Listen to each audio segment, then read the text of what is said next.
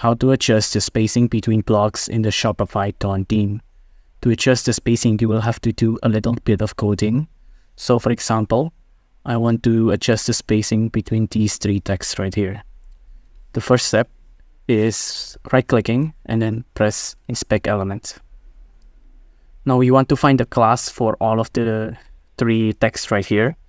We can go here and then scroll, hover around the code to see which one covers all the texts.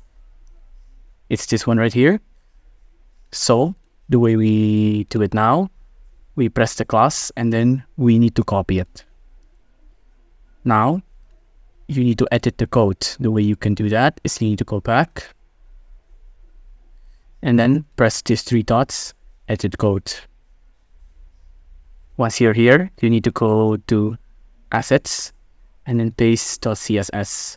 Scroll all the way down and we can start to add the new code. Since it's CSS, the way the syntax goes, you need to add a dot first and then copy the class name we added from before. But you see here, there's spaces around here. There'll be, if you, if you leave the spaces there, it'll not read the code. So in the way you do it, delete the space, replace it with a dot instead. Make sure to replace all the spaces with a dot. You uh, about these close. And then we add this. And now type in gap colon 11 rem period uh, exclamation mark important. Don't forget to add a semicolon as well. And then we save.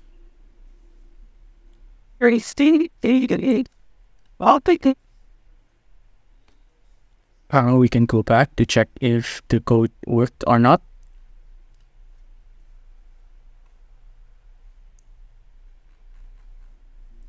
You see here, there's now spaces. You can adjust how much space you want by modifying this value. For example, I want 100 rem. Save. Anything, D.